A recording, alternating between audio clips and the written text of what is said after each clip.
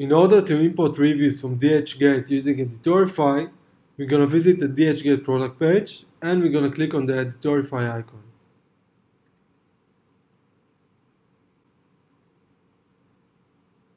In this page, we're going to choose the reviews that we want to import.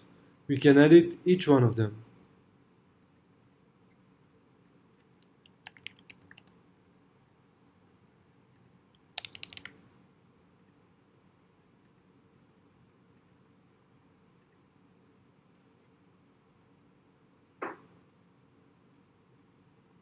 After selecting the reviews, we're going to select the product that we want to import the reviews to. And we're going to click on the Import Now button.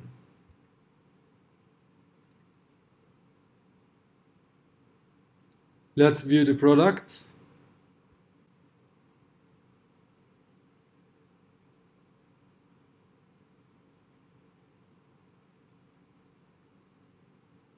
Thank you for using Editorify.